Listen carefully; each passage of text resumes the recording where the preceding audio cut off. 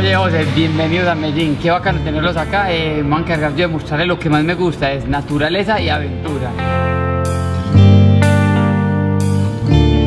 Conmigo va a tener que ver con cocina y tango. Yo les voy a hablar un poco de la innovación y cómo ha cambiado Medellín en los últimos 20 años.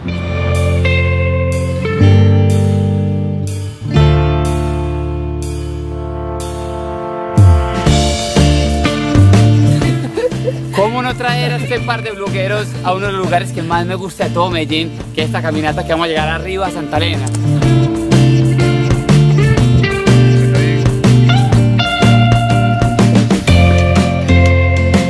Bueno, ya vimos una vista preciosa, pero el lugar que los va a llevar esta gente no se lo imaginan. Uy, no, ¿dónde nos llevará? Tengan a alguien corriendo. Dani, espera, Dani, Dani.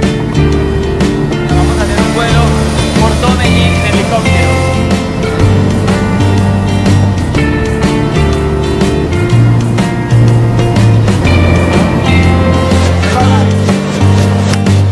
Bueno chicos, estamos acá en metro de Medellín. Ustedes dirán, ¿para qué me han traído acá si metro es una cosa que hay en muchas ciudades del mundo? Adelante por favor. Les quiero mostrar porque acá es distinto. La cultura metro ha generado un sentido de pertenencia entre la gente de Medellín que se ha extendido de forma positiva por toda la ciudad, promoviendo la convivencia en armonía, el buen comportamiento, la solidaridad y el respeto por los espacios públicos. En otras partes del mundo los teleféricos significan recreación, siempre te llevan a un centro vacacional o un sitio donde tú te diviertes, un centro de esquí. Mientras que acá el teleférico significa la integración con la ciudad, es un transporte público que ha integrado a la parte alta de la ciudad con el Medellín tradicional, por decirlo de algún modo, ¿no?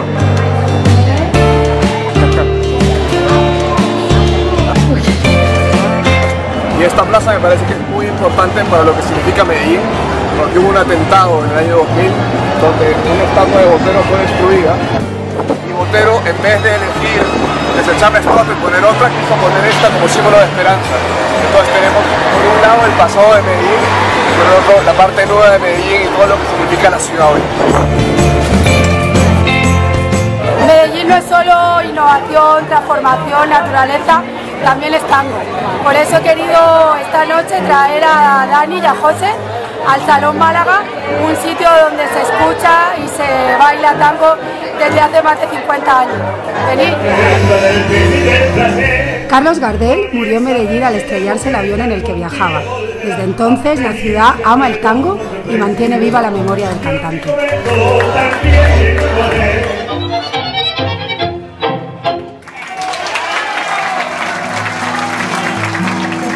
Cosas que más me gusta de Medellín es lo riquísimo que se come aquí, rescatando la cocina tradicional, la que hacían las abuelitas en los fogones. Hoy nos hemos venido hasta un sitio muy chévere, a solo media hora de la ciudad, que se llama ¿Qué haré para enamorarte? Y aquí vamos a probar los frijoles, las empanaditas, todo lo riquísimo de la cocina de Medellín. Buen apetito.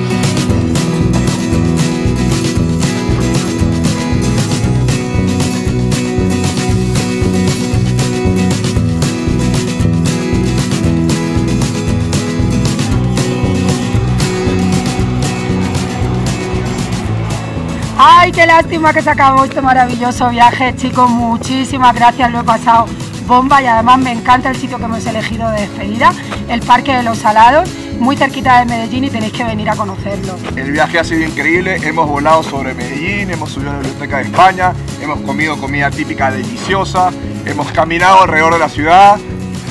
¡Ey! Pero eso no acaba acá, este es el primer viaje de muchos otros en muchas ciudades, entonces sigan en contacto, que eso apenas está empezando. 哈